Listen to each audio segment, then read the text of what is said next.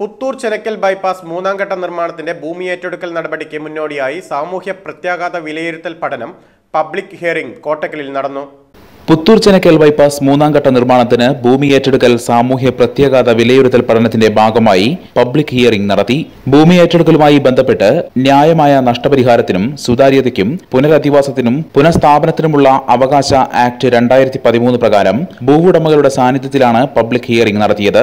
പദ്ധതി പ്രദേശത്തെ ഭൂമിയുടെയും കെട്ടിടങ്ങളുടെയും കുടുംബങ്ങളുടെയും വ്യക്തികളുടെയും കൃത്യമായ എണ്ണം തിട്ടപ്പെടുത്തുകയും പദ്ധതി മൂലമുണ്ടാകുന്ന സാമൂഹ്യ പ്രത്യാഘാതങ്ങൾ കണ്ടെത്തുകയും സാമൂഹ്യ പ്രത്യാഘാത രൂപരേഖ തയ്യാറാക്കുകയും ചെയ്യുക എന്നുള്ളതാണ് സാമൂഹ്യ പ്രത്യാഘാത വിലയിരുത്തൽ കൊണ്ടുള്ള ഉദ്ദേശം. Kalamassery Rajagiri outreach Rajagiri college of social സയൻസിന്റെ നേതൃത്വത്തിൽ റവന്യൂ വകുപ്പിലെ ഉദ്യോഗസ്ഥ പ്രതിനിധികളുടെ സഹായത്തോടെ ഏഴ് അംഗങ്ങളടങ്ങുന്ന ടീമാണ് സാമൂഹികാഘാത പഠനം നടത്തുന്നത്. ടീം അംഗങ്ങൾ പദ്ധതി പ്രദേശം സന്ദർശിച്ച് സാമൂഹിക സാമ്പത്തിക സർവേ നടത്തിയാണ് സാമൂഹ്യ പ്രത്യാഘാത നിർണയം നടത്തുന്നതും വിലയിരുത്തൽ റിപ്പോർട്ട് തയ്യാറാക്കുന്നതും. ഒന്ന് കിലോമീറ്റർ നീളത്തിൽ പതിനാറ് മീറ്റർ വീതിയിൽ കുറ്റിപ്പുറം കോട്ടക്കൽ റോഡിനെയും എൻ എച്ച് പതിനേഴിനെയും ബന്ധിപ്പിക്കുന്ന ബൈപ്പാസിന്റെ മൂന്നാം ഘട്ടത്തിനായി ഇരുന്നൂറ്റി മുപ്പത്തിരണ്ട് പോയിന്റ് ഏഴ് ആറ് ഹെക്ടർ ഭൂമിയാണ് ഏറ്റെടുക്കാനുള്ളത്.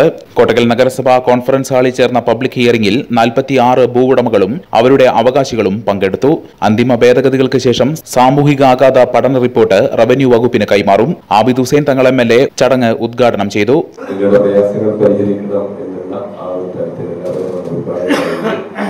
അതുവഴി നമ്മൾ മുന്നോട്ട് പോവുകയും ചെയ്യും അത് അതിന്റെ ആ ഒരു അന്തിമഘട്ടത്തിലേക്ക് അടക്കുന്നതിന്റെ മുന്നോടിയായി. അതുമായി ഉണ്ടാകുന്ന സാമൂഹിക ആഘാതത്തെ കുറിച്ച് പഠിച്ച് റിപ്പോർട്ട് നൽകിയാലേ ആ സ്ഥലം ഏറ്റെടുക്കൽ പൂർത്തീകരിക്കാൻ കഴിയൂ എന്ന് പൊതുമരാമത്ത് വകുപ്പിന്റെ ഗവൺമെന്റിന്റെ നിർദ്ദേശപ്രകാരം. ആ ഇൻവെസ്റ്റിഗേഷൻ സ്റ്റഡിക്ക് വേണ്ടിയാണ് രാജഗിരി കോളേജിന്റെ അധികൃതരെ അതിനു വേണ്ടി അധികാരപ്പെടുത്തിയത്.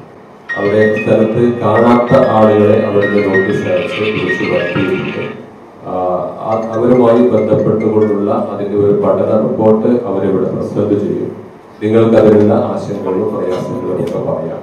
അതിന്റെ എവിഡൻസ് ചെയ്യുന്ന മറ്റു കാര്യങ്ങളും ഒക്കെ നമുക്ക് കണ്ടിട്ടുണ്ട് അപ്പൊ അതുകൊണ്ട് നമുക്ക് എന്തായാലും റോഡ് അതിലെ പോകുമ്പോൾ നിങ്ങൾ സ്ഥലം കൊടുക്കാൻ തയ്യാറാണ് എന്നും സ്ഥലം നടക്കുകയാണ് എന്നും ഒക്കെയുള്ള ഏകദേശം ഒരു ധാരണ ആയി സ്ഥിതിക്ക് സ്വാഭാവികമായും റോഡ് വരാതെ അങ്ങനെ കിടക്കുന്നത് കൊണ്ട് നിങ്ങൾക്ക് ആ സ്ഥലം ഉപയോഗിക്കാനും പറ്റില്ല റോഡ് വരാതിരിക്കുകയും ചെയ്യും. അങ്ങനെ എല്ലാവരും ബുദ്ധിമുട്ടുന്ന ഒരു അവസ്ഥ ഉണ്ടാകുന്നത് പരിഹരിക്കണം എന്നുള്ള നിലക്കാണ്. അനിവാര്യമായ ഒരു കാര്യം എന്നുള്ള നിലക്കാണ് നമ്മൾ അതുമായി ബന്ധപ്പെട്ടുകൊണ്ട് മുന്നോട്ട് പോയത്. അതിൽ പരിപൂർണമായും നിങ്ങൾ എല്ലാവരും കഴിഞ്ഞ കാലങ്ങളിൽ സഹകരിക്കുകയും സഹായിക്കുകയും ചെയ്തിട്ടുണ്ട്.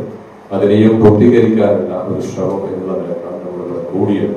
നഗരസഭാ ചെയർമാൻ കെ കെ നാസർ അധ്യക്ഷത വഹിച്ചു standing committee chairperson T V Sulaikabi councillor Pulikkal Koyappu deputy tahsildar Binu S village officer Abdu Kunnakkadan പൊതുമരാമത്ത് Malappuram section overseer T Pradeep V Keshavan സാമൂഹ്യ പ്രത്യാഘാത പഠന യൂണിറ്റ് ചെയർപേഴ്സൺ മീന കുരുവിള എന്നിവർ പങ്കെടുത്തു The Kottakkal Cooperative Urban Bank Limited, Head Office, Kottakkal 24 branches.